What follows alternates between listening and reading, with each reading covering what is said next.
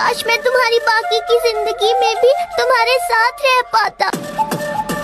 पता है मेरा नाम है शिनचैन नोहारा। मेरी उम्र है पाँच साल और मेरी मॉम डिस्काउंट में बहुत ज़्यादा शॉपिंग करती। मैं तुम्हारे लिए केक बना कर रखूँगी। हेलो दोस्तों मेरा नाम है नोबिता नाम तो पता है मेरे डैड बहुत बड़े आदमी हैं वो बहुत